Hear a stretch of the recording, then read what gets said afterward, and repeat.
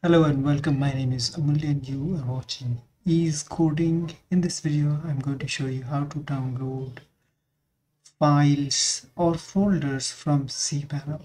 So go to your file manager and then select the folder that you want to download. So I've selected uploads and then you must compress it to download it so I'm going to select compression type is zip archive and it's going to be in the same directory. Okay compress files and just wait for this to be completed and then you just refresh it reload this particular page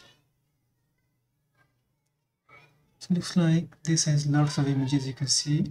Okay lots of images. Now if I go ahead and reload it I should get this zip folder. And then you have to select it and then you should see this download option. So click on it. And now it's going to take some time here. It's not huge file but it's going to take a minute because it is on uh, shared hosting. So depending on the internet speed and the server that you are you have or your files is on will determine basically the time the download time okay? So once it's downloaded you can go ahead and upload it to your your server. So simply click on upload select the zip folder. Upload it. Once it's uploaded like this you can unzip it select it and then extract. Click on extract and leave. Keep in the same folder. Also rename the previous folder. So I must rename it.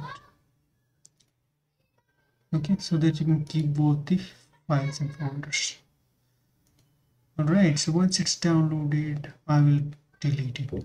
So hopefully you got the idea how you can download a folder with lots of images lots of files in it and then upload it extract it name it rename it whatever you want to do you can do and you can transfer uh, your folders your content from one server to another.